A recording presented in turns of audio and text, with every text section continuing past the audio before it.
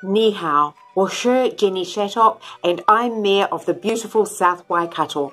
Welcome to New Zealand Chinese Language Week. This year, New Zealand Chinese Language Week is being celebrated nationwide from the 20th to the 26th of September. Here in the South Waikato, we pride ourselves on embracing our cultural diversity, and it's no different as we celebrate the Chinese culture this week. All information on events and resources can be found online at www.nzclw.com.